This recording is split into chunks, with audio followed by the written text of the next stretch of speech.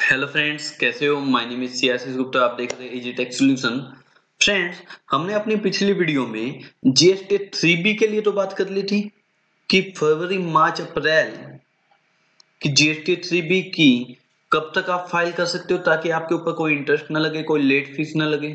और अगर आपकी टर्नओवर पाँच करोड़ से ज़्यादा है तो नौ परसेंट इंटरेस्ट कब लगेगा?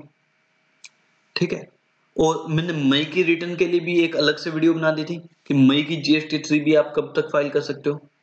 फ्रेंड्स लेकिन अब क्वेश्चन उठता है कि जो जीएसटी वन है, जो जीएसटी वन है, मार्च, अप्रैल और मई के महीने की, उनका कैसे है सर वो हमें कब तक फ़ाइल करनी है? दूसरा क्वेश्चन उठता है, अगर हमारी टर्न ओवर मान लो हम क्वार्टरली रिटर्न फ़ाइल करते थे तो हमें 31 मार्च 2020 की जीएसटी वन कब तक फ़ाइल करनी है?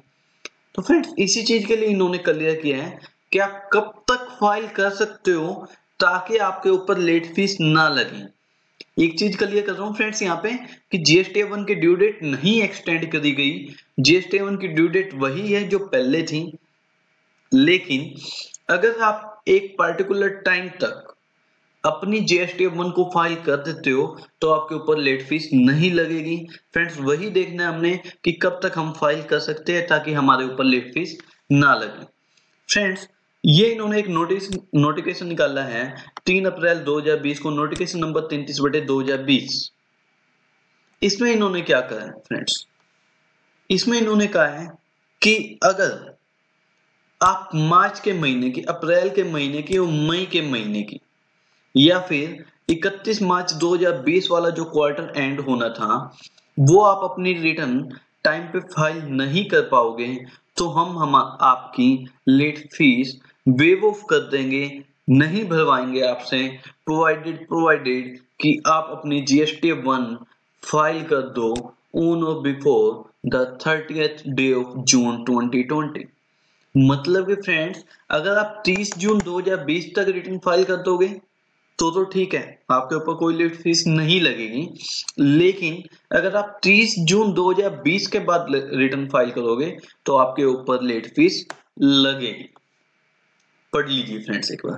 Provided also that the amount of late fees payable under section 47 of the said act shall stand waived for the month of March, April and May and for the quarter ending 31st March 2020 for the registered person who failed to furnish the detail of outward supply for the said period inform GST1 by the due date.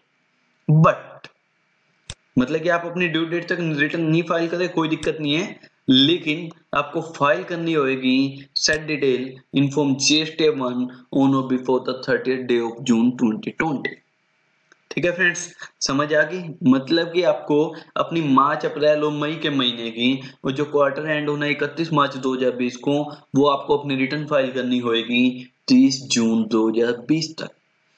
फरवरी की GST one की date की कहीं बात नहीं करी है friends इसने। फरवरी की जीएसटी वन आपको उसी टाइम पे भरनी थी। ठीक है? जो दस तारीख होती है आपकी। लेकिन जो मार्च, अप्रैल और मई की इन्होंने जीएसटी वन की बात कही है, वो आप 30 जून तक भर सकते हो तो आपके ऊपर लेट फ़ीस नहीं लगेगी। Okay friends thank you video पसंद आई है तो लाइक करना शेयर करना फ्रेंड्स चैनल सब्सक्राइब ना किया तो चैनल को सब्सक्राइब ज़रूर किया करो, ताकि जो भी नेक्स्ट वीडियो डालू फ्रेंड्स इजिली आप तक पहुँच सके। Okay friends thank you